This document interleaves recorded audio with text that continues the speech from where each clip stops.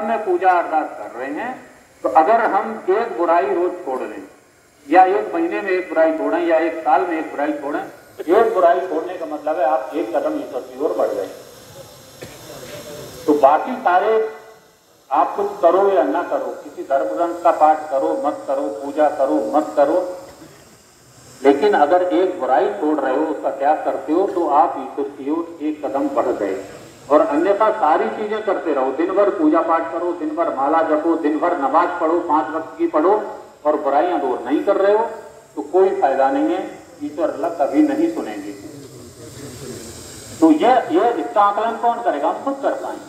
कभी कई बार ऐसा देखने में आता होगा, कई लोगों ने देखा होगा कि वो पूजा पाठ कभी नहीं करता, कभी मंदिर नहीं गया, कभी नमाज़ नहीं पढ़ी। दर्द होता है जो भी हमारा परम तत्व है, ईश्वर अल्लाह वहाँ तक पहुँचना। और उसका क्या है, वो क्या है? जिसमें भी हर धर्म की मान्यता में जो सर्वोच्च है, जिसको हम, जिसकी पूजा अर्चना, जिसकी अरदास करते हैं, वही है ना? अल्लाह है, ईश्वर है, सबसे ऊँचा वही है। क्यों करते हैं? क्योंकि उसमें कोई बुराई नहीं है। उसमें कोई बुराई नहीं है, निर्विकार है। हिंदुओं में उसको हम ईश्वर का एक पर्यायवाची निर्विकार भी है। निर्विकार मतलब उसमें कोई बुराई ना हो, कोई विकार ना हो। तो इस तरह से सारी धार्मिक यात्रा, सारी आध्यात्मिक यात्रा क्या हो जाती है? निर्विकार की ओर। कहा जाना है हमें? निर्विकार की ओर। यानी ईश्वर की तरफ़ जाना है, निर्विकारता की ओर जाना है मतलब बुराइयों को कम करते हुए जाना है। मनुष्य और ईश्वर में फ़र्क क्या है? यही फ़र्क है। वो निर्विकार है और हम विकार युक्त हैं। उन कोई और तवज्जो चाहूँगा जो शेर पढ़ रहा हूँ उसके लिए खास तौर से।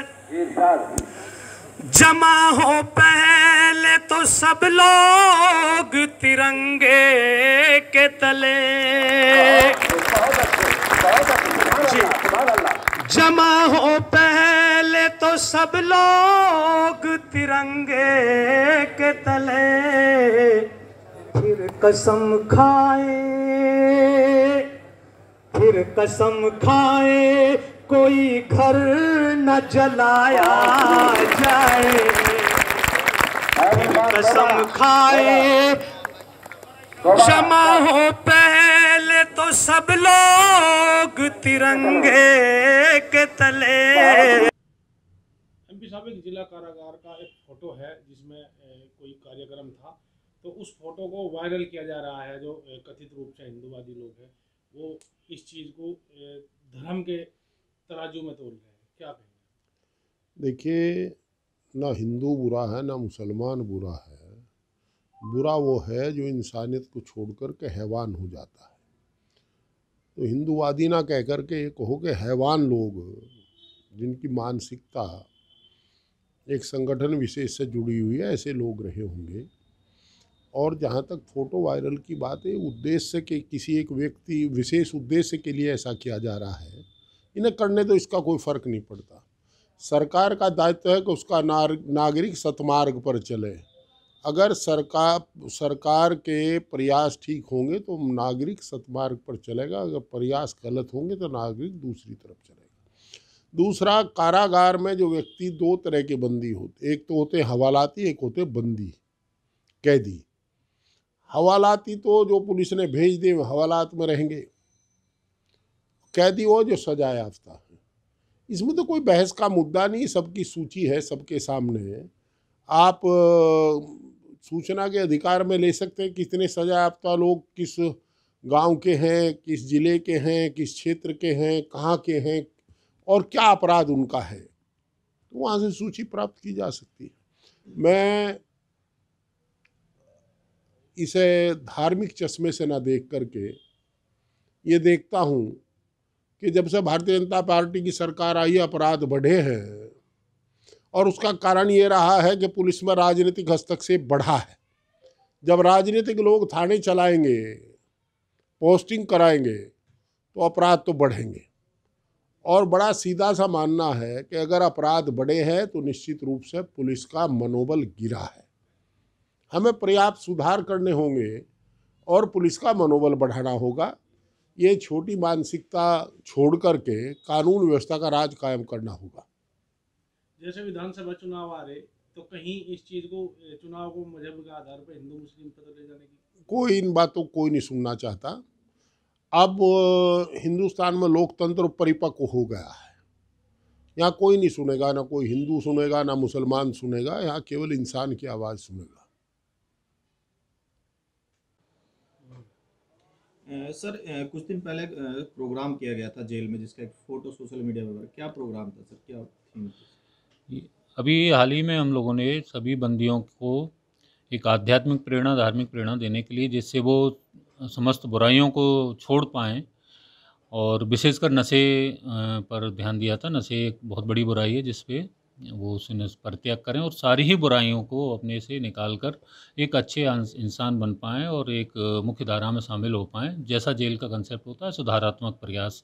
तो उसी सुधारात्मक प्रयास में हम लोगों ने एक ये था कि सभी धर्मों के धर्म गुरुओं को बुलवा कर और उनसे एक आध्यात्मिक प्रेरणा जिससे जाए तो सभी धर्मों में जैसे जैसी संकल्पनाएँ निहित हैं तो चूँकि यहाँ सभी धर्मों के बंदी निरुद्ध हैं तो उनमें हिंदू धर्म के आचार्य भी थे सुक्रताल से जो आए हुए थे एक मौलवी जी भी थे सरदार जी भी थे गुरुद्वारे से और पादरी जी भी आए हुए थे। तो इन लोगों ने अपनी धार्मिक व्याख्याओं के आधार पर बंदियों को प्रेरित किया कि वो अपने अंदर से सारी बुराइयों को निकाल कर एक बेहतर नागरिक बनने का प्रयास करें। क्या अच्छी पहल थी निसंदेह इससे हम लोगों को लगा काफ़ी बंदियों ने प्रेरणा ली और बहुत सारे बंदियों की उस दौरान जब कार्यक्रम चल रहा था तो बंदियों की आँखें नम थीं यानी उनको अंदर तक प्रेरणा इस बात की हो रही थी कि बुराइयों को दूर करने में ही एक अच्छा इंसान बना जा सकता है। तो हमें लगता है प्रोग्राम बहुत अच्छा रहा और भविष्य में इस तरह के प्रोग्राम फिर भी कराएँगे बंदियों के सुधार के लिए। अच्छा यहाँ का एक फ़ोटो वायरल हो रहा है सोशल मीडिया पर उसे धर्म के चश्मे से देखा जा रहा है आप क्या कहेंगे? इसकी जानकारी मुझे नहीं है कि वायरल क्या हो रहा है लेकिन यहाँ पर चीज़ों को धर्म के चश्मे से देखना मुझे नहीं लगता इस तरह का कोई एंगल था। हम लोगों का था सर्वधर्म संभाव, सभी धर्मों के लोग आकर, धर्मगुरु आकर और सभी धर्मों में जो जो धार्मिक मान्यताएँ निहित हैं, उस तरह से बंदी अपने अपने धर्म से जो भी प्रेरणा ले पाएँ और एक अच्छा नागरिक बन पाएँ। ठीक।